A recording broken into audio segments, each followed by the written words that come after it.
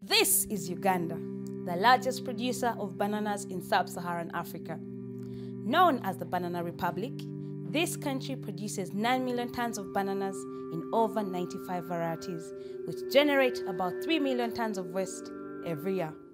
My name is Helen Kawahukia, a reporter with Solutions Now Africa, and today we see how banana waste recycling is set to break barriers in the fashion industry while reducing waste levels in the country. We all know what is fast fashion is doing in our, in our ecosystem, in our environment, in our world.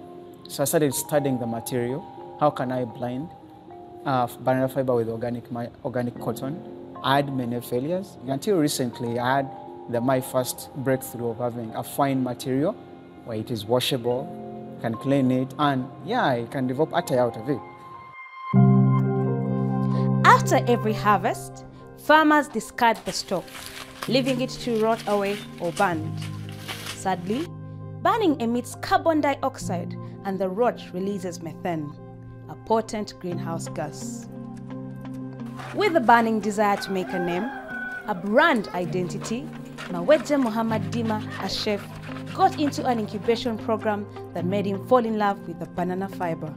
He saw this as a new raw material to create sustainable fashion and artistic products. I had passion for art when I was studying my school. And then from there, I used that particular passion to, to go into an incubation program. But then I was expo exposed to this particular material, like the material which comes out of the stem of the fiber of the banana tree.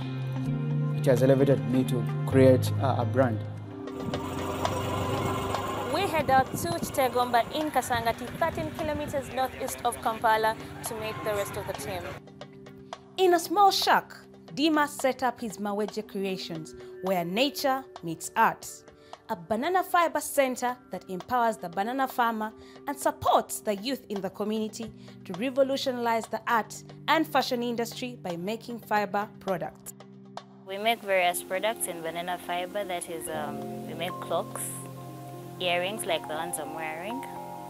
Uh, we also make wall hangings, a table mat, uh, wallets, and a bag. And then um, other products, we also have pen holders. We also make them in uh, banana fiber. The process is manual and the labor is intensive, with the team having to use knives and pins to create the fiber material.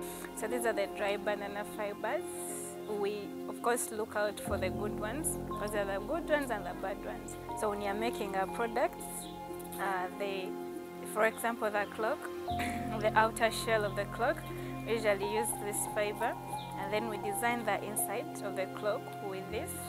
These are the extracted banana fibers. So we get out, we get them out of the banana stems. So what we do with these ones, we, we weave them with uh, cotton so that we can get out a fabric that is later used to make bags. Uh, we've done so far wallets and a backpack. As an African child in Uganda, I grew up playing with fibers. I made dolls out of them while watching my brothers make balls out of fibers. Today, Kato Ashraf teaches me how to smoothen out a banana fiber to revolutionize the fashion industry.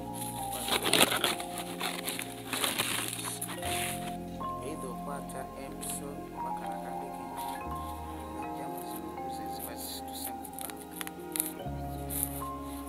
exhausting, Dima is hopeful for the future as people begin to embrace banana fiber as a new raw material to replace environmentally degrading materials in the fashion industry.